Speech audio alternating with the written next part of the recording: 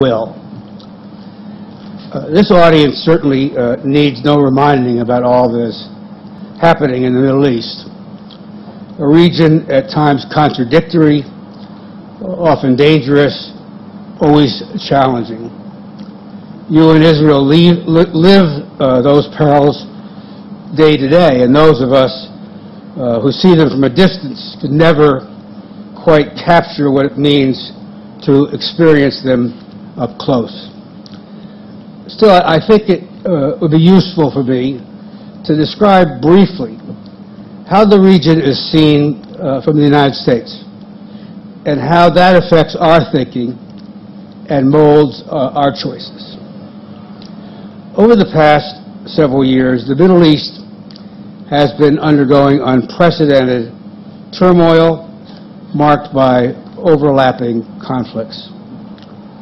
There is, of course, the defiance uh, shown by large portions of the Arab people against autocratic, corrupt, um, sclerotic regimes, a series of uprisings we first viewed as an Arab Spring, but it soon became clear that among those vying for different future, there is a fierce competition for what that future should look like. Whether it will be more Islamic or less, Islamists themselves are in the throes of a brutal, bloody battles uh, among sectarian, tribal, uh, and ethnic uh, uh, sides. There's a generational clash fueled by youth unemployment uh, and social media, and an urban-rural divide fed by the marginalization of groups uh, and the concentration of power in the hands of a few elites. At the national level, borders drawn a century ago are being diluted uh, and as supranational loyalties gain precedence over national ones, and large portions of the region become ungoverned. And overlaid upon this shifting mosaic, a regional tug of war between Iran and Saudi Arabia plays out in Syria and Iraq, in Lebanon and Yemen and Bahrain the alliances of convenience that have emerged in the midst of this are enough to give you geostrategic vertigo. Iran uh, fights alongside the Alawite regime in Syria while backing Hamas that was born of the Muslim Brotherhood.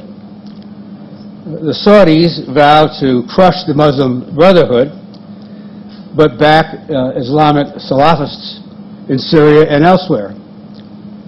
The U.S. works with Maliki to, to defeat al-Qaeda in Iraq, while Maliki supports the Assad regime we believe has lost legitimacy to lead. Now, I draw this portrait for, for two reasons. First, uh, at an elemental level, it dictates a sense of humility. If the battles are as complex and interwoven, if what is at play is not a mere debate between democracy and autocracy, as some thought in those early days of 2011, but a debate, at least in part, about the political meaning of nationhood and of Islam, those issues will not be decided in Washington or outside of the regi- regi- region. They will be decided by people in the regime, in the region, and for the region. But at the same time, these complexities should not be used in my country to throw up our hands in bewilderment and fail to define, in the midst of this, these messy crosscurrents, our national interests, and to pursue them together with others with as much commitment and energy and clarity as we can. Because we have clear and compelling interests in the outcome. It matters to us whether the Islamic State of Iraq and the Levant have a safe haven in Syria from which it can launch attacks on us and our friends and prepare a new generation of jihadists. It matters to us if Iran is emboldened uh, so to, as to project uh, power, uh, uh particularly uh, if it has nuclear weapons. It matters to us whether Arab societies move, however slow and however cautiously, toward more representative and inclusive forms of government, or whether, conversely, they remain mired in unrepresentative, exclusionary rule that provides fertile ground for extremists to prosper. It matters to us if instability in the region triggers a spike in oil prices.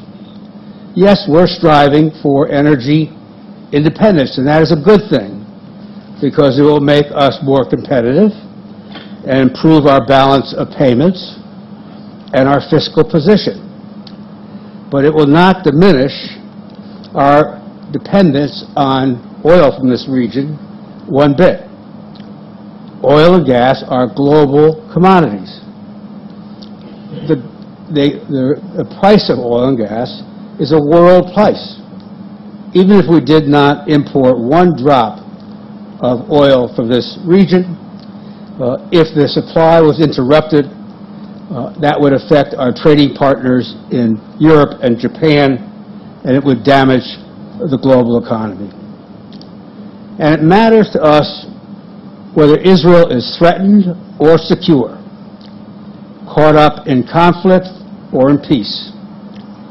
For our interest in this nation and its welfare is deeply routed and rooted with the American people across the political spectrum. It is not paranoia for Israelis to feel threatened in this environment. It is a combination of realism and history. So the challenges facing America's Middle East policy certainly is to know our limits in a treacherous landscape, but is also not to be paralyzed by them. We need to find that strategic space between necessary humility and indispensable activism. We cannot be masters of the Middle East destiny, but just as surely we cannot now turn our backs on this region, allowing its problems to fester. It is a surefire way of allowing them to grow uh, and come back to haunt us. Finding that balance uh, is best explained, I think, and done on a case-by-case -case basis, uh, and that's what I propose to do uh, next. Let me start with Syria. It has not been at the top of your agenda over the last few days, but as former UN Peace Envoy Lakhdar Brahimi said yesterday, it poses a grave threat to the future of the Middle East. Syria is a microcosm of the currents I described earlier. The fight against an indescribably brutal ruler fought along sectarian lines between more mainstream Islamists and jihadists all in the context of a struggle for regional influence between Iran uh, and Saudi Arabia. The argument in the United States that Syria is too complicated, too messy, uh, too muddled for us to get involved has, over the past three years, held the United States back from energetic engagement. All slopes have seemed to be slippery ones. Currently, we've, certainly we have learned over the past decade that Americans should not fight wars in lands we dimly comprehend and whose destinies we only marginally can shape. But that doesn't mean there is nothing to be done at all. We cannot afford to be spectators in this unfolding tragedy whose effects are felt across the region.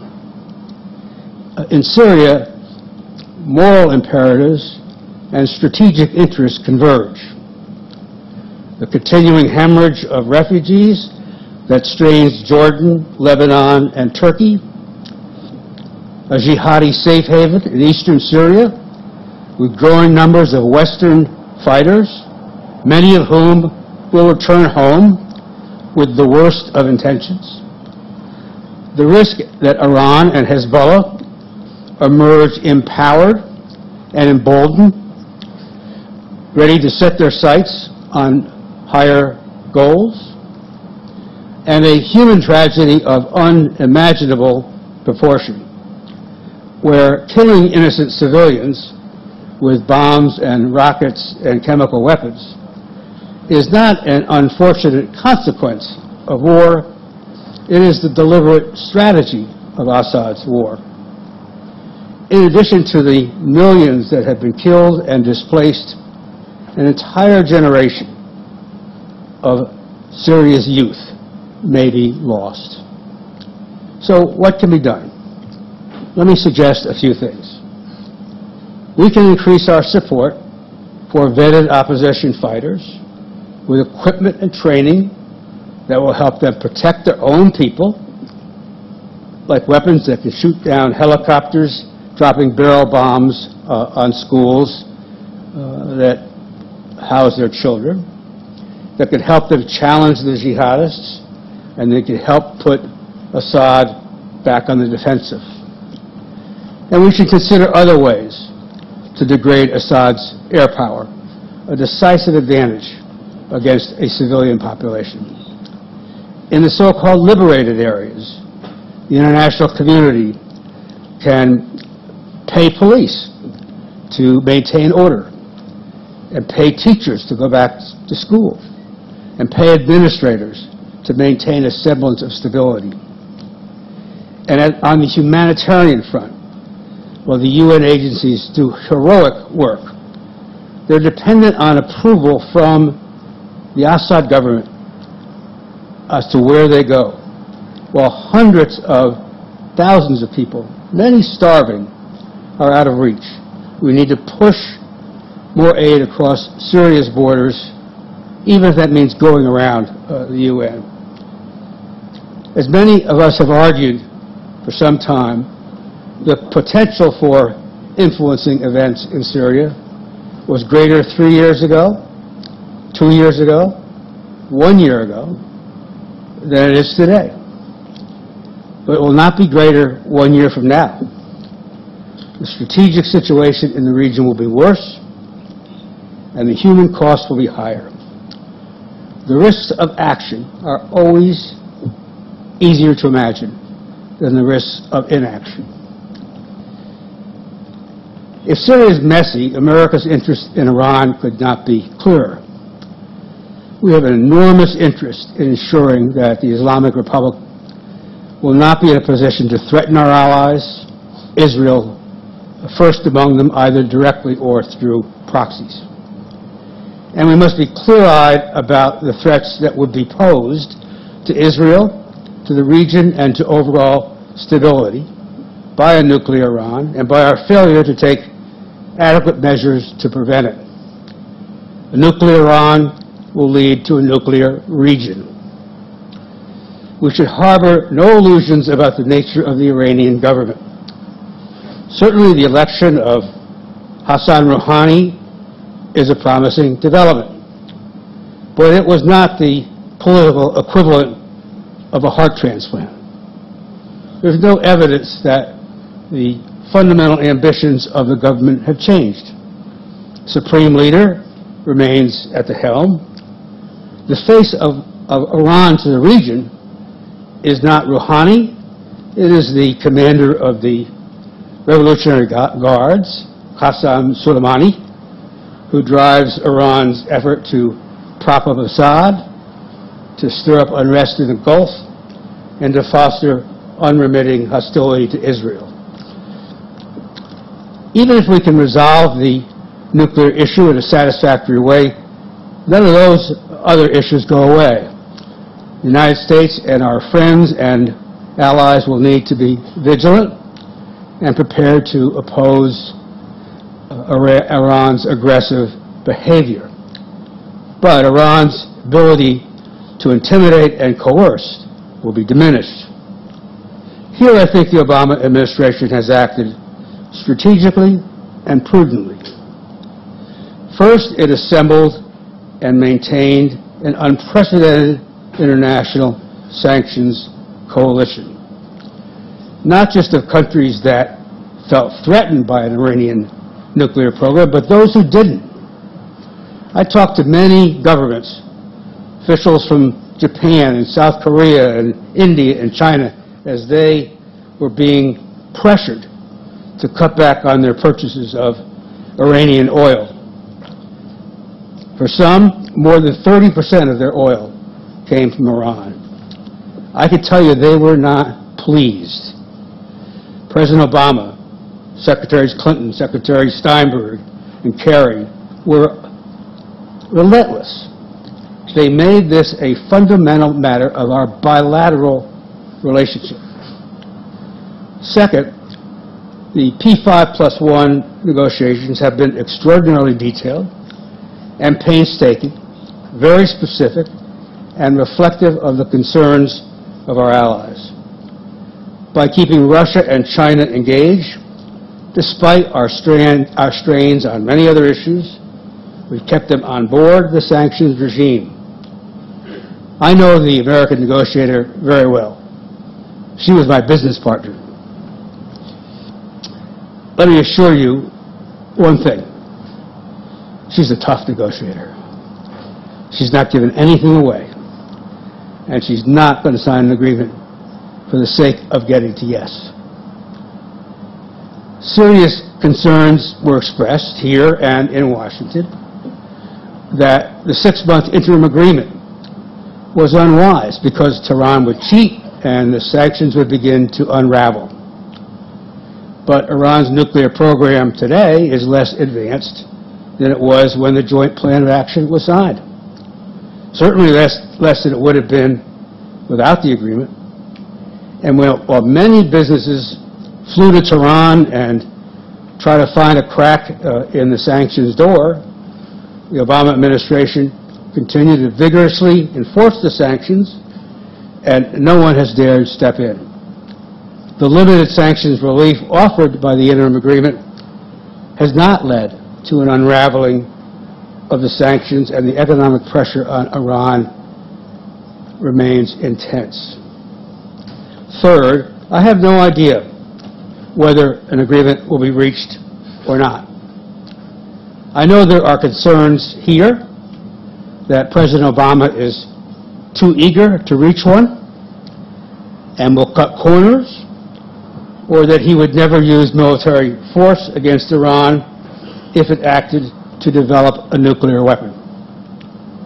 I disagree with both of those concerns. I do not believe President Obama would accept a nuclear Iran without acting.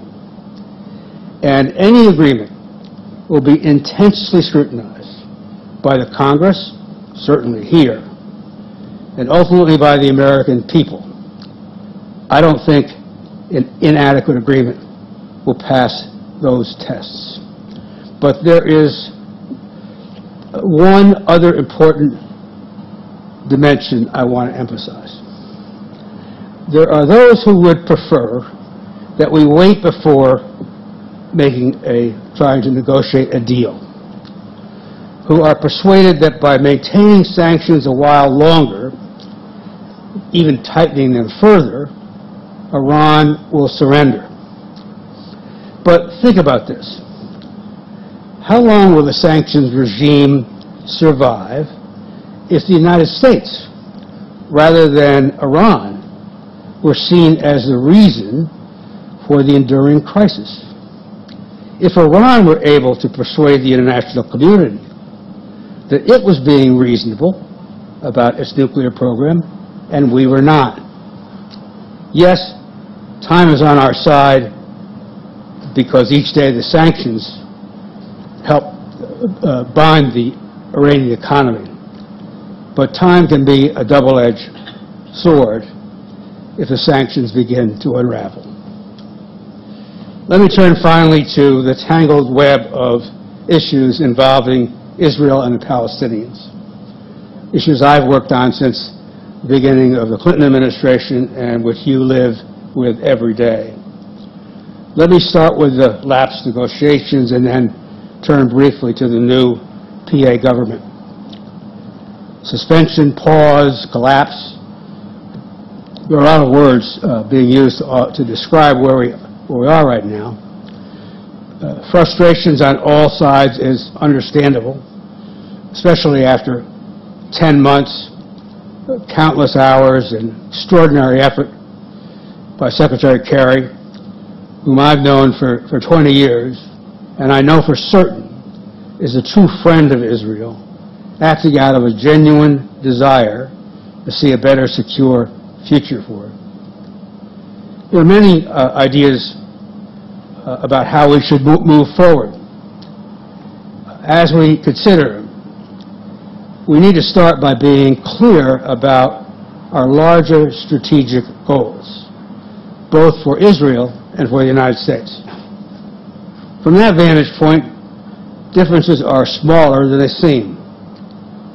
Both have made clear that ultimately they are committed to a two-state solution not out of some idealistic fantasy, but from a very realistic judgment that is the only way to preserve Israel's nature as a Jewish democratic state. As Prime Minister Netanyahu has said, we don't want a binational state. I don't find the status quo desirable. I believe the Prime Minister is right in both of those sentiments, and it is also a strategic imperative for the United States, which is why we have maintained such a sustained focus on Arab-Israeli peacemaking since 19, 1970s.